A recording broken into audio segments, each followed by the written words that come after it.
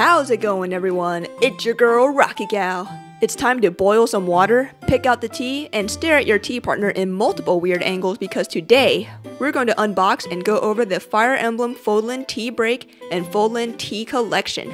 They were announced on the 1st of April, so many people, Westerners especially, thought it was a joke. But no, it's real and it's really neat.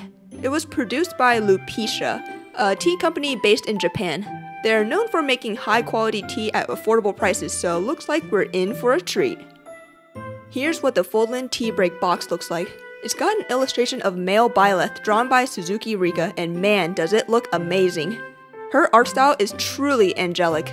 He's holding a teacup, foreshadowing the contents of his box.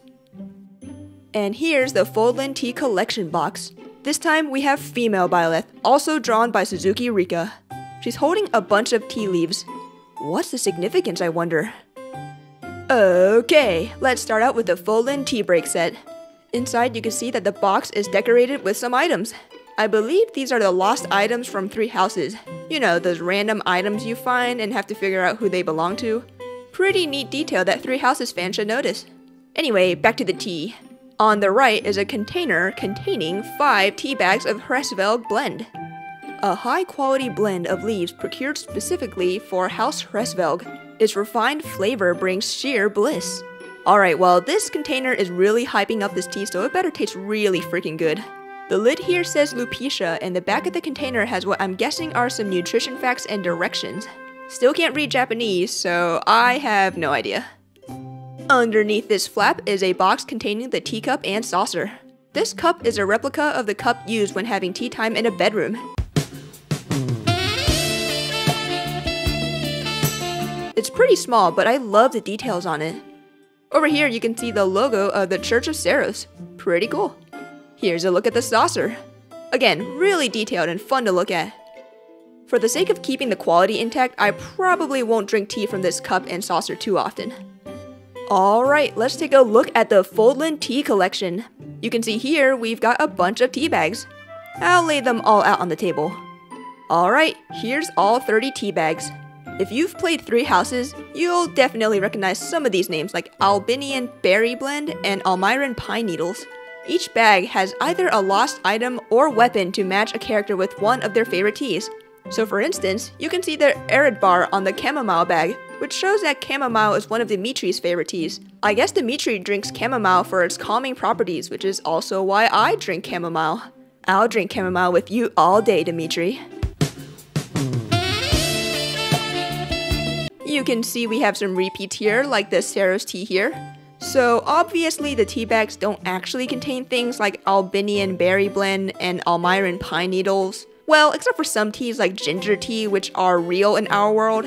But if you look at the back of the tea bags, you can see what the actual tea is.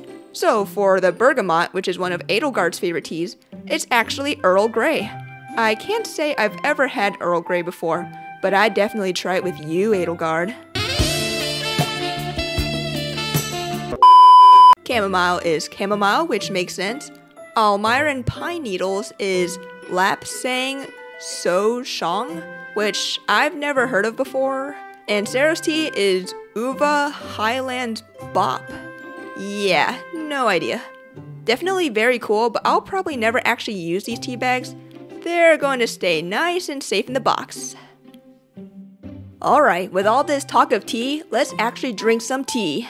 Let's open up the Hresvelg blend here since there's 5 tea bags.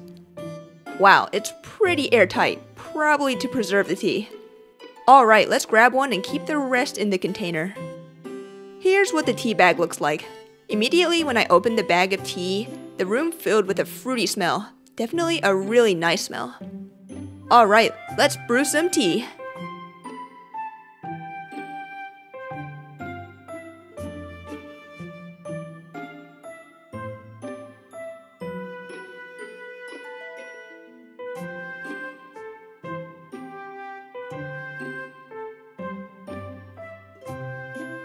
Man, look at that color. It looks really nice. So I didn't actually drink it since I didn't want to risk it having caffeine and keeping me up all night, but my sister said that it tasted what perfume smells like.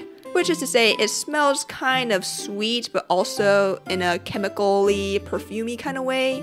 She also said it was a little bit bitter too, which you'd probably expect from tea, honestly. Overall, she thought it was a pretty good tea. Overall, a very cool and unique Three Houses tea collection.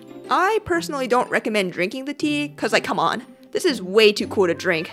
I got both sets from AmiAmi for 4,950 yen each, and with 5,580 yen for fast shipping, the total was about 110 USD. Pretty expensive, but if you're a die-hard Three Houses fan and can wait longer for shipping, I would definitely recommend it. I'm not sure if they're still selling these sets, but if you're thinking about getting them, I would recommend picking them up sooner rather than later. I hope you enjoyed exploring the Fodlan tea break and tea collection with me. Thanks for watching, and I'll see you all next time.